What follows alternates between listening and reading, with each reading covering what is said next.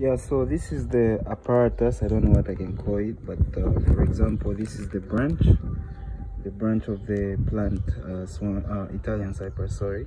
We, we use colorless plastics for us to know whether the roots are out or not they'll quickly start showing at the bottom there but we make sure the roots reach the bottom of the cup for guaranteed growth and then why we use this plastic over the over the plant is not to allow direct sunlight. As you know plants without roots are able to dry up easily if they're exposed to direct sunlight. So this is to create a small greenhouse where no atmospheric gases are allowed to hit the leaves.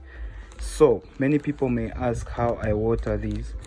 As you can see at the bottom there's a hole.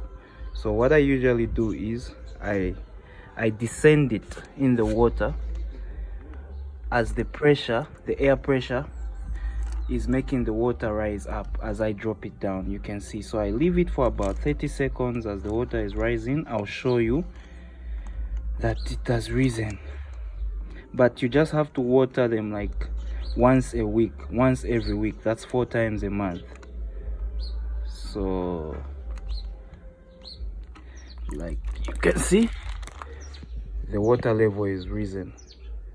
I just put it back like that. And that's how you water the apparatus. Thank you